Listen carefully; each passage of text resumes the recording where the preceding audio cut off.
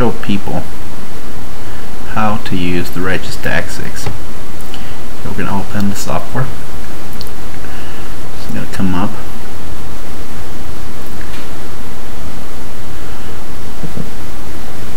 It takes a little bit.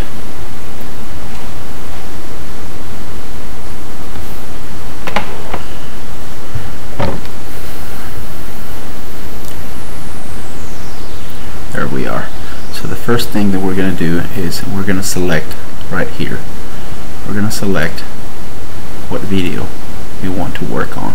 Okay, let's go ahead and hit this one here. So you can have a preview. Hit open. Okay, and this is my video.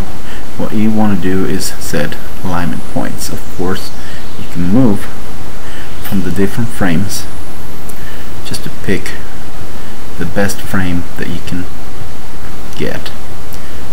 In this case, we're going to get frame number 10. Then we're going to set up the alignment points. It's going to come up with some of them already. Then just click on a few extras here. Let's align this here and this here, which is the moons hit align it's gonna start aligning. It's gonna take a little bit because it's a total of 1048 frames. So you can see it's on 6% 8% we're gonna speed up a little bit on this video and we're gonna come back when it's back on the 100% okay we're back now. Um, uh, as you can see it's already at 100% now um, what I'm going to do is I'm going to hit this button here that says limit which is going to show me the limits on where this is going to be moving and aligning. So once I'm done with that I can go ahead and start on the stack processing. Once again it's going to start doing that right here. It's going to start advancing from 0% all the way up to 100% and when it's done once again we're going to come back with the video to show you what's the next step.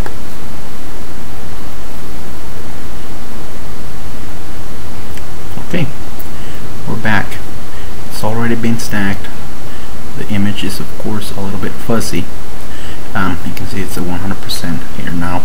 So now what we're going to do is in order to maximize the clarity of this image we're going to go into the wavelet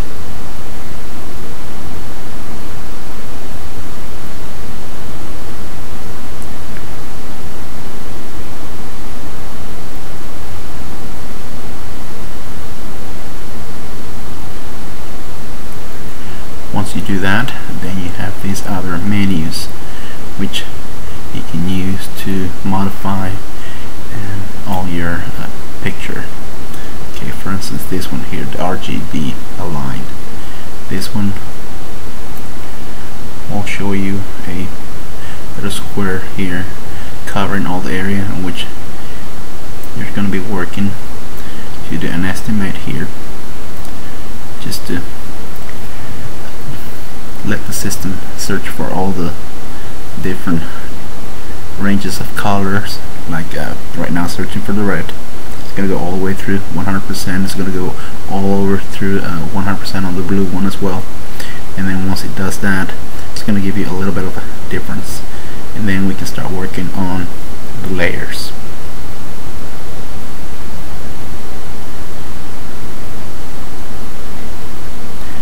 Done with the red now it's going with the blue. Okay so it's just going to take a little bit longer. Um, of course um, every time you save as I'm speeding up the process on the computer so that uh, you don't have to wait for me.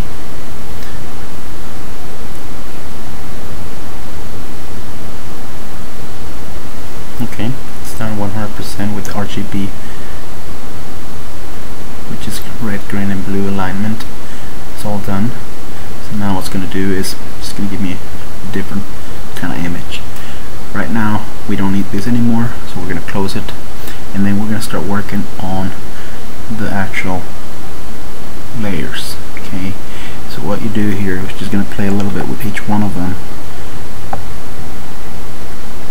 so that okay this one here didn't work very well so just going to bring it back to where it was just going to work on each one of them to see what works best for you. Of course we were working on a kind of very fuzzy image.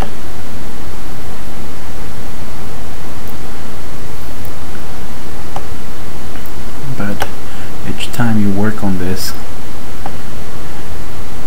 each time um, you move one of those things it's going to give you a different effect on that okay? So let's move this one here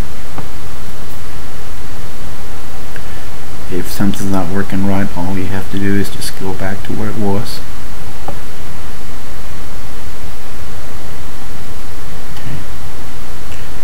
Let's see this.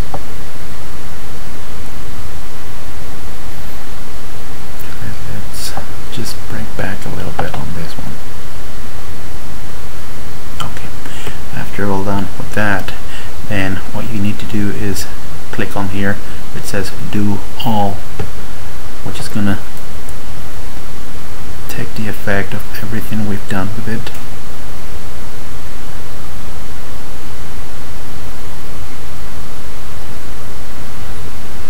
Okay.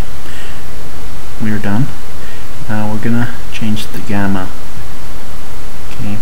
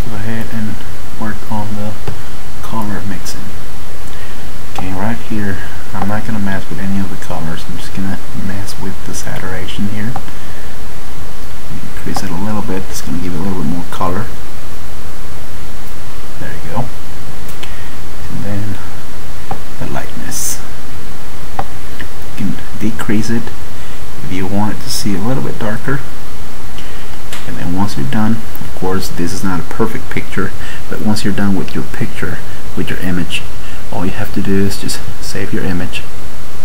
We're gonna save it here. Um, I'm just gonna put Jupiter and we're gonna save it as